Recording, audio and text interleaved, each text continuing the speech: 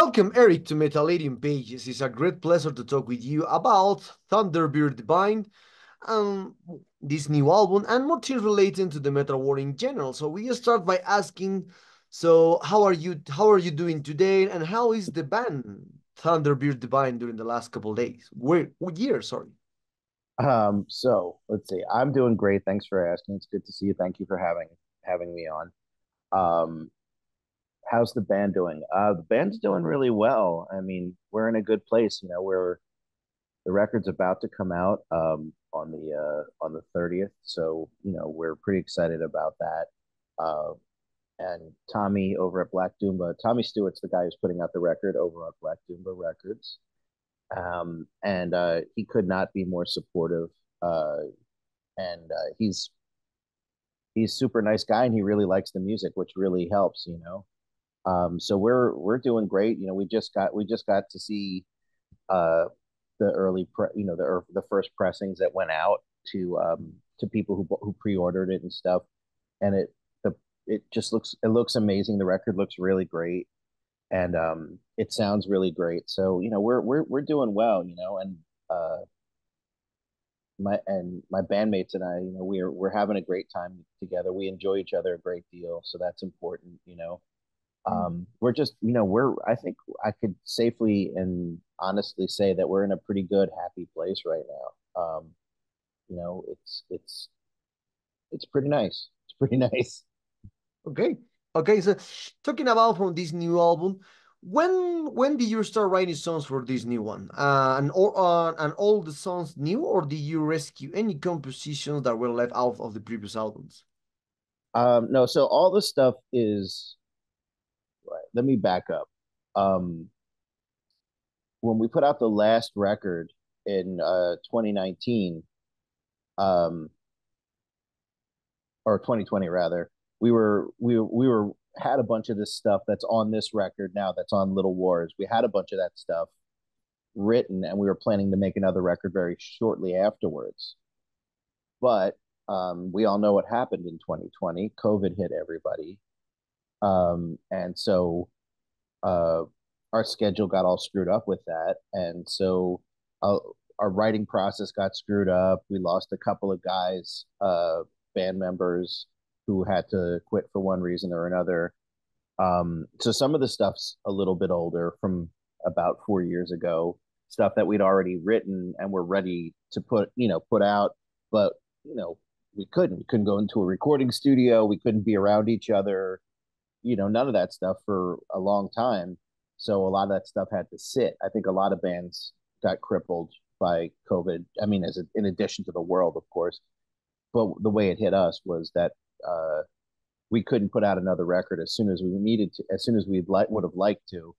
So we had to sit on some of the songs for a while, and um, and again we we had some turnover with band guy, you know, with uh, band members, and um, after that, we had to get back up to speed. And then in the process of getting back up to speed with, you know, new guys, uh, we wrote some new stuff. So we ended up with this, um, with this co- combination of newer songs and older songs. So some of the songs are about, could be as old as about four years old.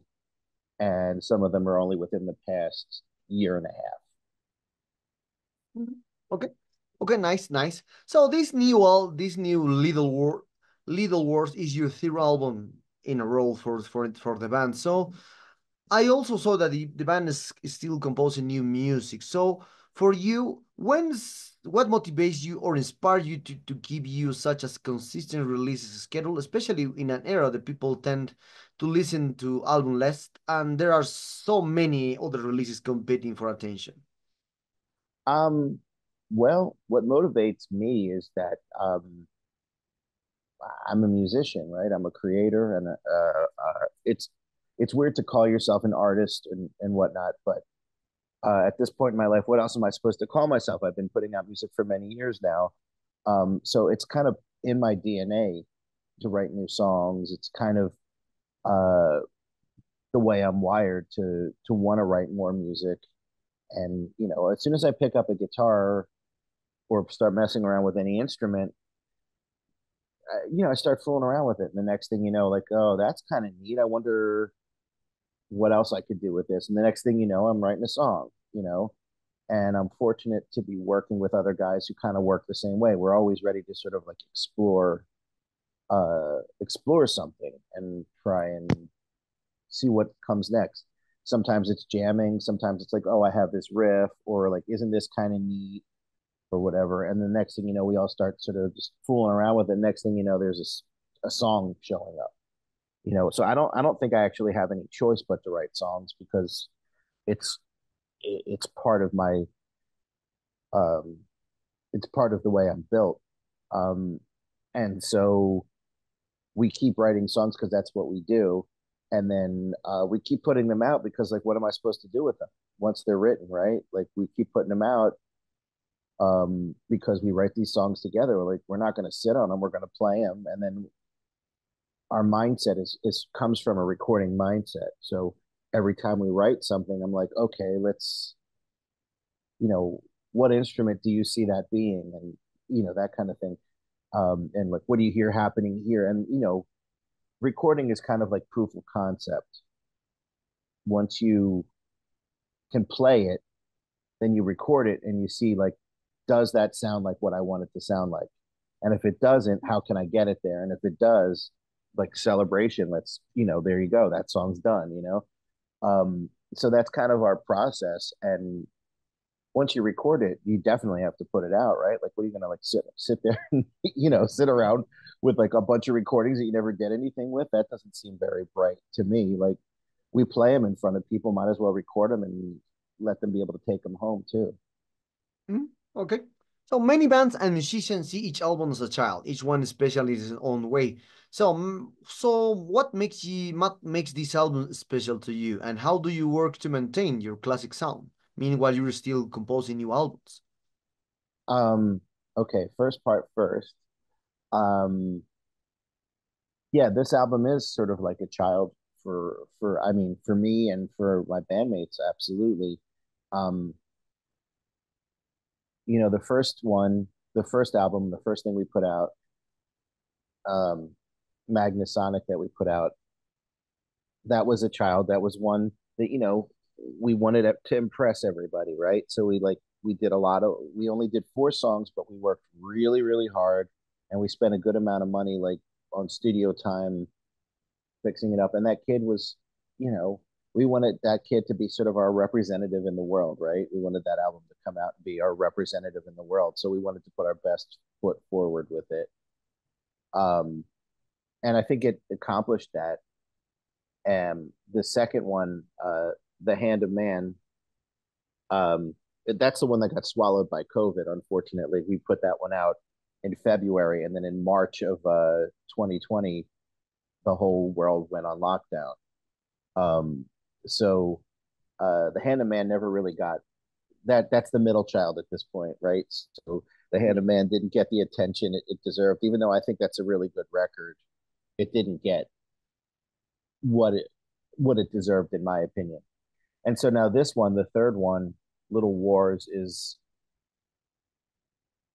it's a growing record. Um, it, it, it a lot of it lyrically are about it, the the songs lyrically are about sort of difficult times and frankly like little battles that people have that I personally have have had, and I think that people can relate to. Um, you know, whether with whether it's with um, relationship issues or addiction or whatever, um, all those things are present. And so this one is this kid, this album is is it's showing growth and exploration like internally lyrically it, it does. And uh musically it's an expansion. We've done more different kind of things to make this record a lot of different instruments and things. Um, and uh, sort of just a different approach. Um, and uh, regarding what you're saying like you know if is it like a lot of work to or whatever to to maintain a classic sound i, I don't think so it's not like it, i don't it's not an effort to maintain any kind of sound because we do what we do is is honest to us. Um, so in other words, it's it's a sincere representation of how we feel and how we work artistically. So it's not really hard to maintain that because it's it's it's honest. It's it's it's who we are, you know. Whatever it is we're gonna whatever music we're gonna make, it's gonna sound like us, you know, for better or for worse, it's gonna sound like us and who we are. So I don't find it difficult to maintain any particular sound because it's all stuff that's real for me and my bandmates. Um, it's not a um, it's not any kind of struggle. No, okay, nice, nice, nice, interesting to know. So Thunder Thunderbird Divine has mm-hmm. always had a varied sound with this with it stoner, psychedelic, stoner, a lot of rock or doom. What so for this, what sounds can we expect on this new album? Are there any new sonic elements? Has your way of composing and recording sound changed much over time? Um, all right. So I'd say that one of the biggest differences in this record is um, our bass player Josh is a recording engineer and he has recording gear in his home. Um, so he has a studio there. Um, so we were able to demo all the songs very uh, uh, completely and meticulously. We were able to, re- you know, work on all these songs with fairly unlimited time. I mean, we kept, we had deadlines and we had, uh, you know, times that we wanted to meet for deadlines, but we had a lot of time to mess with these songs and do things with them. So it was, um, that was different because in the past, you know, it was get in the studio, you know, rehearse and rehearse, demo the songs, and then get in the studio and then try to knock it out in a couple of days because studio time is expensive. Well, in this particular case, um, studio time wasn't as much of an issue because we did a lot of the recording at Josh's house. Um, so we had more time to go over things uh, and try to get things exactly where we wanted them to uh, where they where we wanted them to be, and we were able to do a bit more experimenting.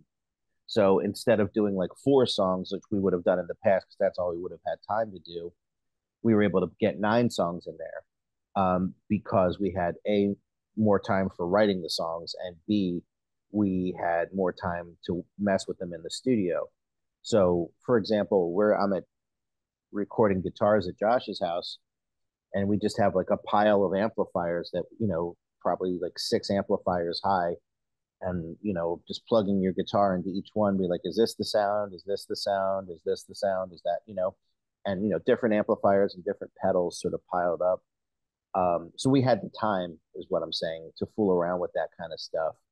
Um, so sonically in terms of the kind of sounds we came up with for it you know we did have the capability to go in there and fool around with it so yeah we have things like I have banjo on this record, uh, which I haven't done before. Uh, we've got uh, melodica, uh, harmonica, uh, uh, kalimba, which is a little thumb piano, um, 12 string guitar, electric sitar, various sort of drone making machines. And yeah, there's a lot of for lack of a better word. Uh, we did some samples, like we grabbed stuff off the internet and uh, chopped them up and reversed them to get some textures. Um, you know, it was a lot of fun.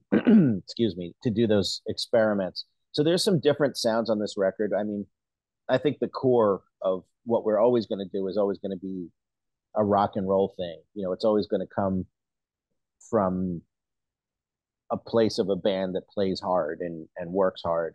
So it's I think there's always going to be that underlying found uh, foundation of a good rock and roll band, but um, we will take a good rock and roll song and then sort of like layer it up and uh, mess with it in the studio to get all the sounds happening, you know. So that that's that was that's how this record is different. Um, the sounds are I mean, some of the, I mean, everyone's heard an, an electric guitar before, right? I mean, everyone knows what that sounds like. Everyone's heard drums before, but then there's other sounds that we just sort of invented in the studio because uh, we wanted to see if we could. And then once we found ones that made us happy, uh, that's what made it on the record. Hmm. Okay. Inter interesting to know also.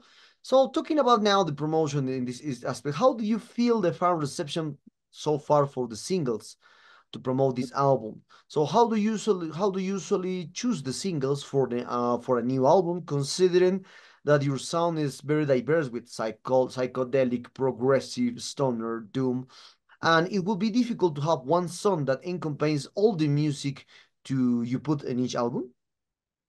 Yeah, um, that I would say is a factor. We definitely went back and forth. excuse me.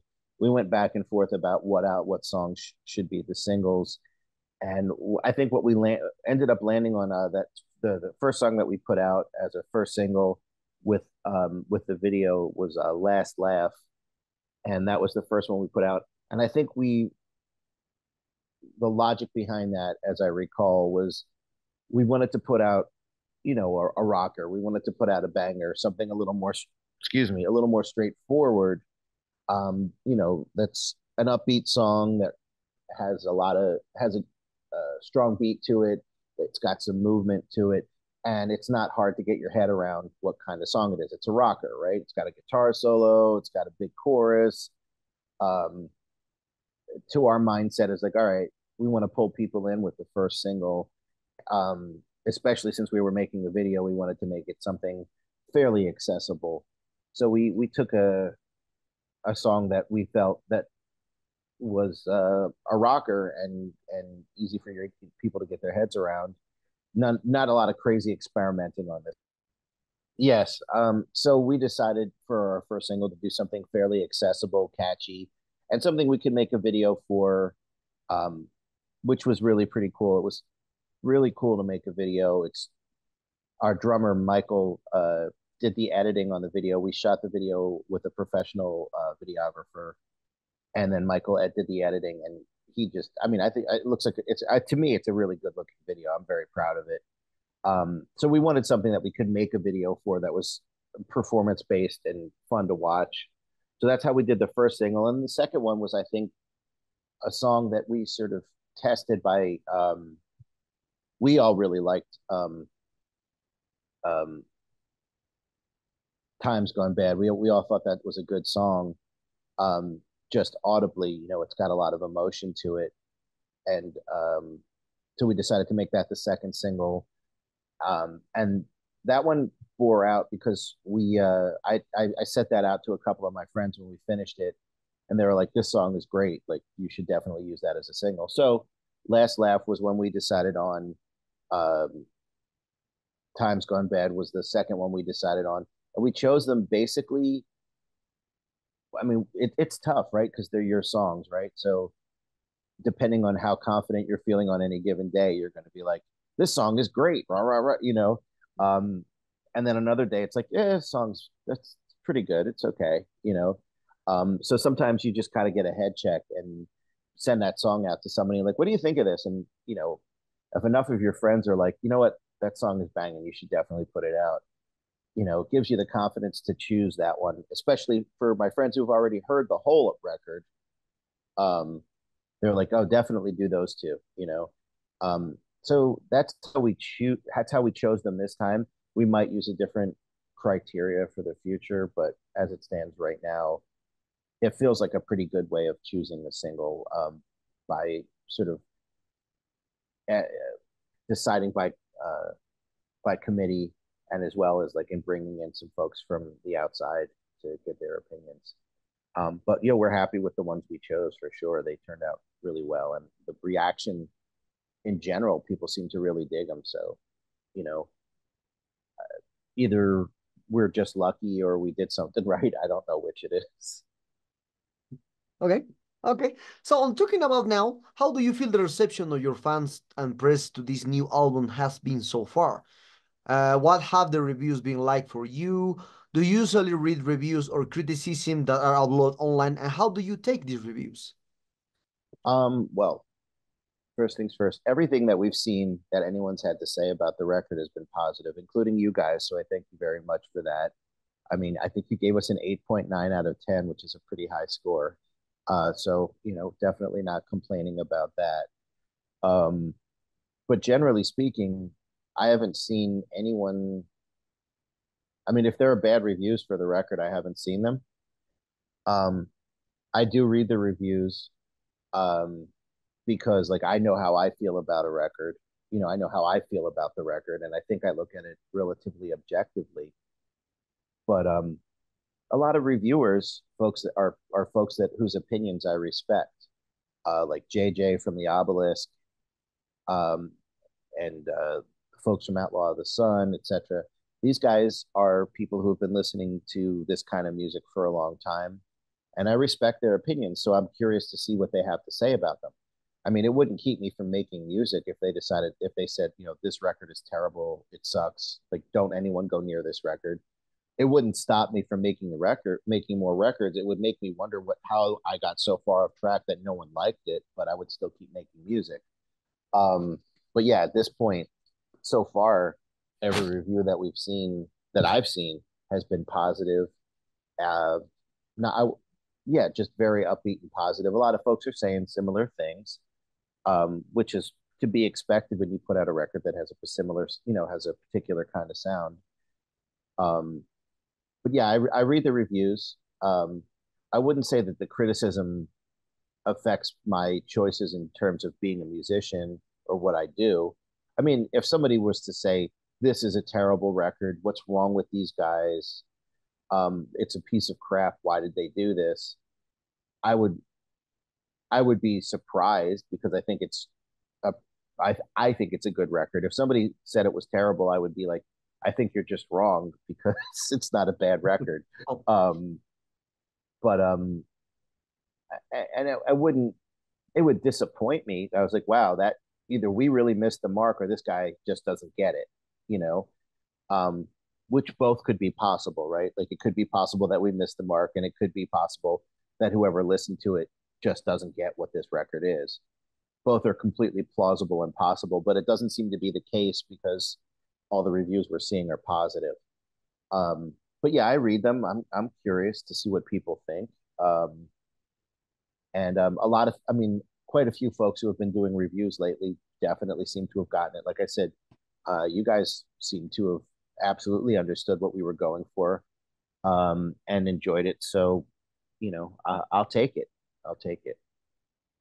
Mm, okay, nice, nice, nice. So talking about the promotion of the new album, so what kind of plans do you have for this new one?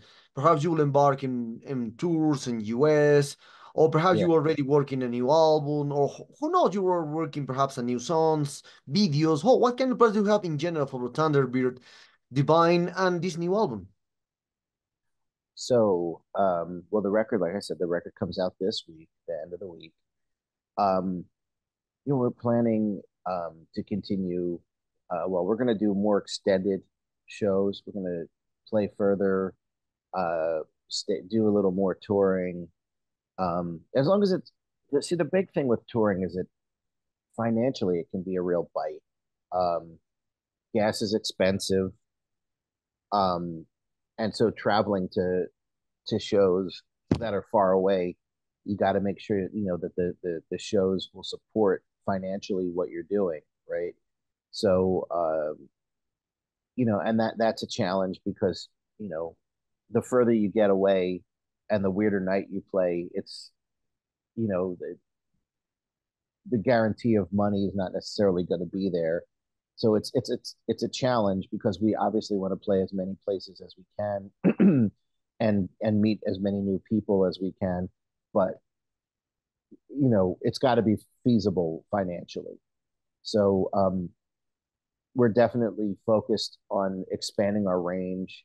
Um, the big thing for us is trying to do more festivals, and we're we're trying to like we're trying to get out of playing in bars and places like that. I mean, obviously, we're always going to play bars, but um,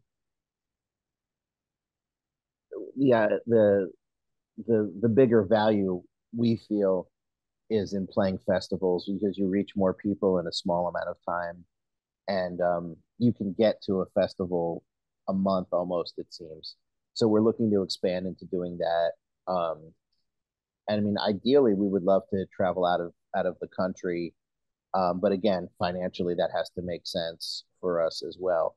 Um, you know, there there's this sort of line between wanting to bring the music out to as many people as possible and and you know make sure the record sells as well as possible and also like not going broke in the process.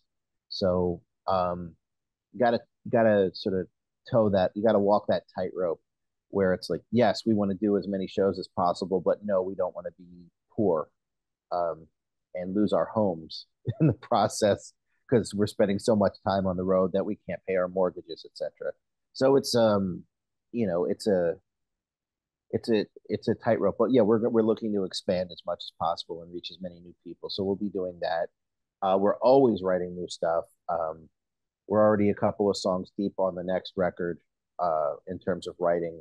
Uh, so that you know that's happening at, you know all the time writing new material is always happening we have a bunch of seeds of new songs and sort of partially formed songs and almost completely formed songs going at the same time.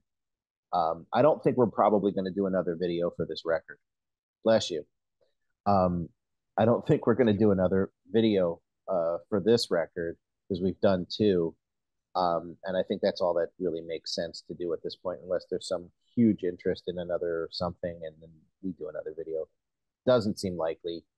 Um, but uh, yeah, we're constantly writing, and uh, you know, we're always looking for new things sonically. We're looking always looking for new things, uh, and of course, song structures are exciting to fool around with, and um, we're always sort of seeing like what's going to work and what's not going to work. Um, I think the biggest thing for for all of us is we just have a really good time working together. Um, you know, we enjoy each other and we enjoy making music together, and it's like a puzzle that you constantly kind of get to put together and then each song is another piece that clicks together mm.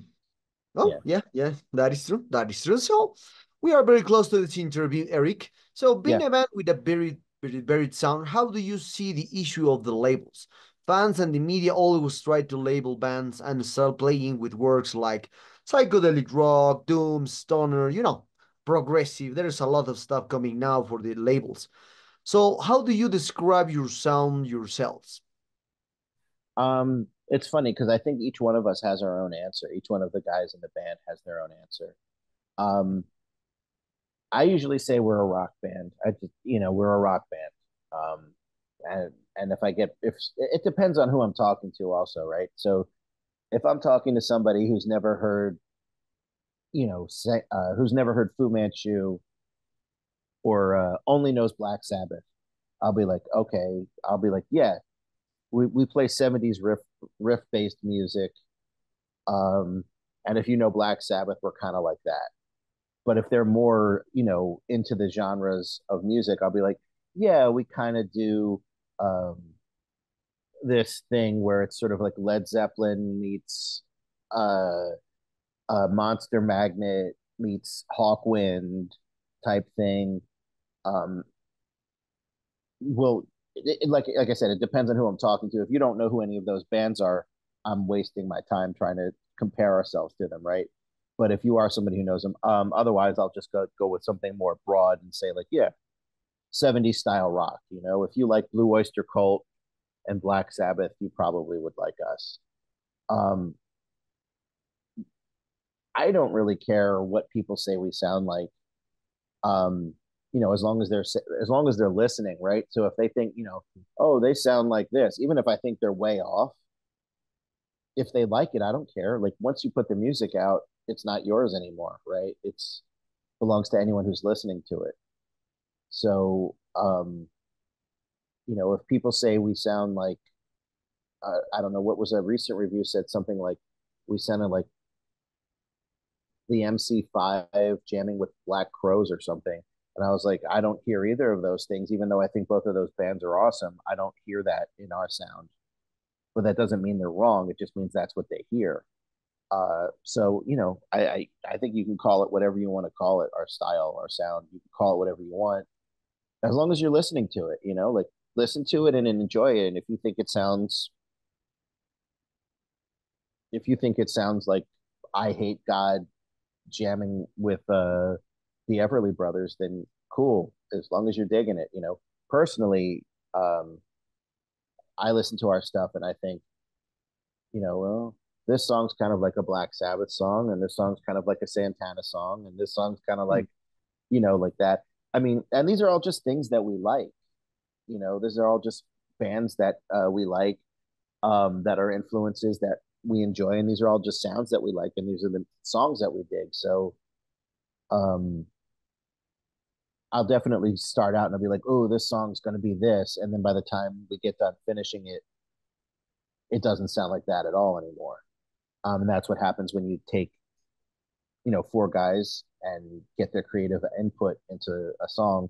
Next thing you know, it's like the thing that you thought was going to be a really heavy, you know, how many more times hmm. uh, Led Zeppelin type of song turns out to be more of like a Santana Frank Zappa song what am I going to do? Complain? Those guys are awesome too. So I'll just, you know, you know what I mean. I'm just going to write. We'll just keep writing them and keep doing them.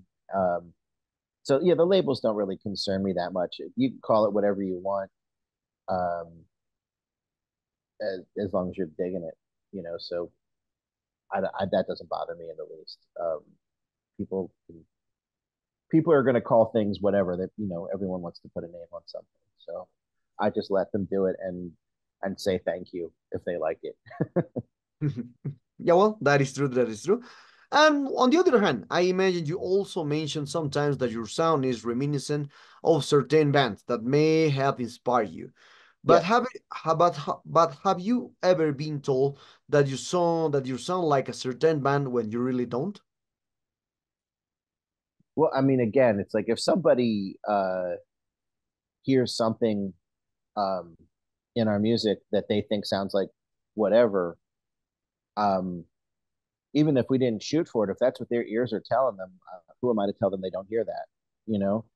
Um um i remember when we put out the first record uh somebody said was in I, we were interviewing and they said um this song sounds like the beatles to me and i'm hard pressed to hear uh, anything like the Beatles in that on that record, especially in the song they were referring to.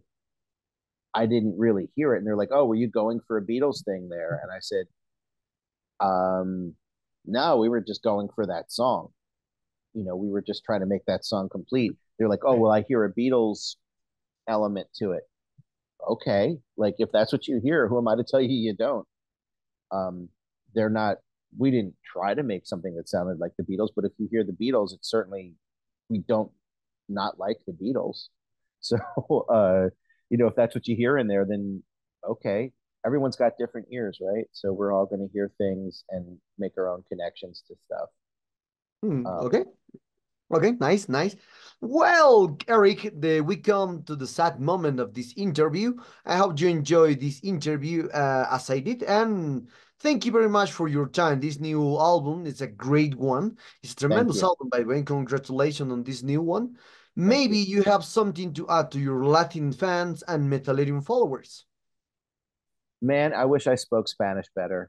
Uh, uh, I, unfortunately, I had Spanish in high school, so I wish I could say something, you know, deep and interesting in Spanish. But what I can say is, man, I'm so glad you guys are listening. Um, I'm so glad. I feel we're very honored um, and and flattered that anyone would listen to what we do at all.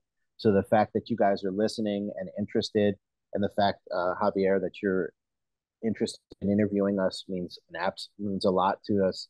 So we appreciate it greatly.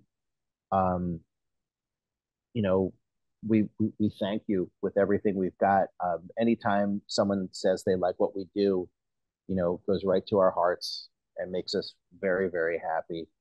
Um, so what I would say to all of you is, and to everyone who's listening, and to you as well, uh, Javier, thank you very much for supporting us and listening and enjoying the record. Um, that's what it's there for, to be enjoyed.